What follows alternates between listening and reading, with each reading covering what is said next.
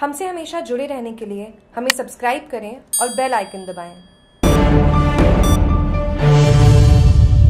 एक घड़ा पानी के लिए घंटों का इंतज़ार महिलाओं ने पंचायत में दिया धरना। वेरा जेतपुरा पंचायत में पानी के त्राही त्राही। शिवगंज के वेरा जेतपुरा पंचायत में पेयजल संकट गहराने से महिलाओं को एक घड़ा पानी के लिए घंटों का इंतज़ार करना पड़ता है। पेयजल, बिजली व सफ़ाई जैसे मुद्दे पर गुरुवार को महिलाओं ने पंचायत परिसर में धरना देकर सरपंच करण सिंह देवड़ा पर समस्याओं का समाधान नहीं करवाने का आरोप लगाया। महिलाओं का कहना था कि घरों के बाहर सार्वजनिक नल तो लगा दिए, लेकिन पानी के अभाव में नल सूखे पड़े हैं। नवादेव के समीप बनी पेयजल टंकी की पिछली लंबी समय से साफ़ सफ़ाई नहीं होने से दूषित पानी की सप्लाई हो रही है। सरपंच को ये मामला ध्यान में होने के बावजूद भी समस्या समाधान के प्रति रुचि नहीं दिखा रहे हैं। समाज सेवी जोधराज सिंह बताते हैं, नवादेव सहित गाँव में कई जगहों पर गंदगी के ढेर लगे हुए हैं, लेकिन पंचायत प्रशासन कुंभकर्णी नींद ले रहा है। उन्होंने चेतावनी दी, जल्द ही ग्रामीणों की समस्याओं का निराकरण नहीं हुआ तो समिति में विशाल धरना प्रदर्शन करने के लिए मजबूर होना पड़ेगा।